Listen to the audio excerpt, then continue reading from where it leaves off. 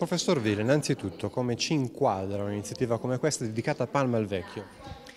Palma il Vecchio è una mostra che vuole essere una mostra per raccontare Bergamo, grande capitale della terraferma della Repubblica Serenissima di Venezia, ma soprattutto è una mostra che vuole oggi riposizionare la città, i suoi comparti economici, i suoi comparti sociali e soprattutto dare una speranza per il futuro ai giovani della nostra università. Sostanzialmente abbiamo immaginato intorno a una grande mostra d'arte, Palma il Vecchio è qualcosa che molti hanno tentato di fare, molti musei del mondo, ma nessuno è riuscito a realizzare, ebbene intorno a questa mostra d'arte riuscire a cogulare le eccellenze della nostra città e della nostra provincia. Perché Palma? Perché Palma è stato insieme a Giorgione e Tiziano all'inizio del Cinquecento colui che ha rinnovato la grande pittura della Serenissima Repubblica, che vuol dire ha rinnovato la pittura europea attraverso nuovi soggetti, grandi soggetti femminili, la sensualità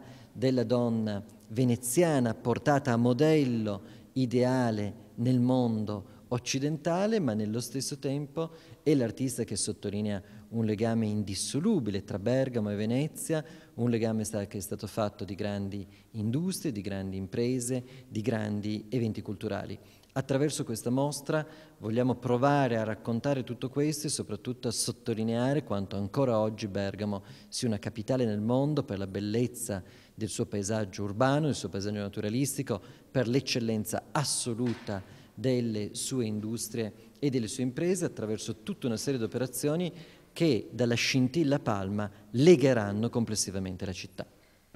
L'Expo è sicuramente un'occasione e l'Università di Bergamo è intenzionata a fare la sua parte. Beh, direi di sì, abbiamo unito un obiettivo strategico per l'università che era quello di recuperare la chiesa di Sant'Agostino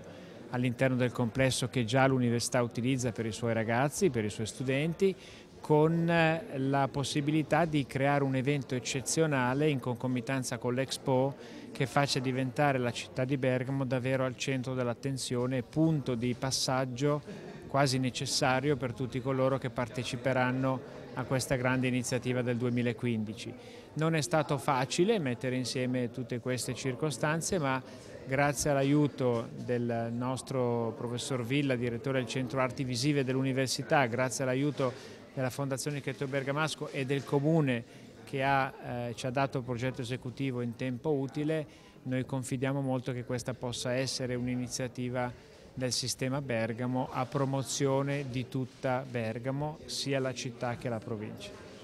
E non è sicuramente facile mettere insieme una mostra dedicata a Palma al Vecchio. Non è facile, è stato bene descritto da chi ha più competenze di me che si tratta di un autore particolare, però crediamo che la, la città, la sua città, senta il dovere di riconoscere le opere che ha fatto, il suo accreditamento presso la Repubblica di Venezia e un ricordo che parta dalle istituzioni culturali delle città.